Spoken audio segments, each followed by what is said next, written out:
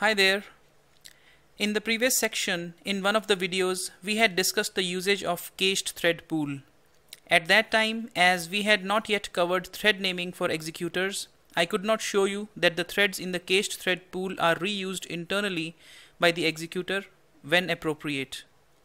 This video is part 2 of that tutorial. In this video, we will witness that the threads in the cached thread pool are indeed reused. Now I already have the class ready with me here. The only thing that we need to do here is to give an instance of a thread factory to the new cached thread pool method so that the threads can be named. If you remember we had created the named thread factory in the previous tutorial by implementing the thread factory class. We are going to use an instance of the same named thread factory class here.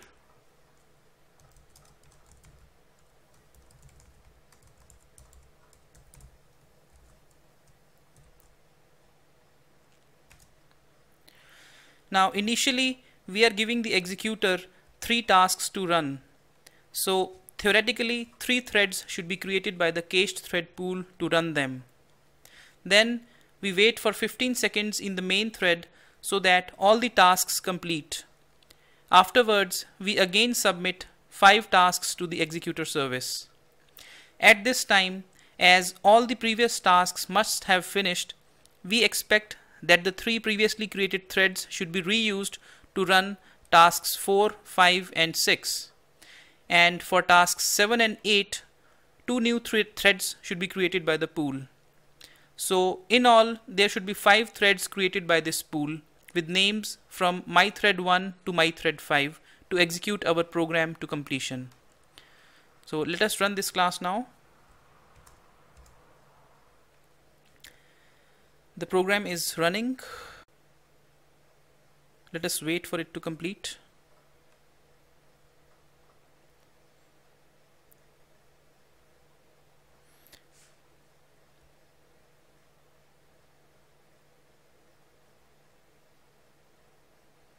okay it has completed let us analyze the output now so we see that Three threads have been created initially by the pool to run the initial three tasks. My thread 1, my thread 2 and my thread 3. The three threads run the three tasks to completion right about up till here. Here the thread 1 is done and the thread 3 is done and the thread 2 is done.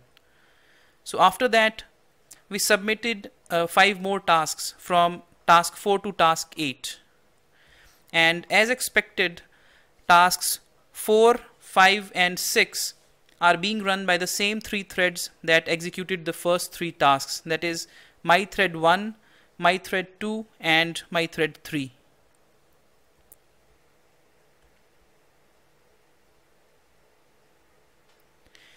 whereas for tasks 7 and 8 two new threads have been created with names mythread4 and mythread5.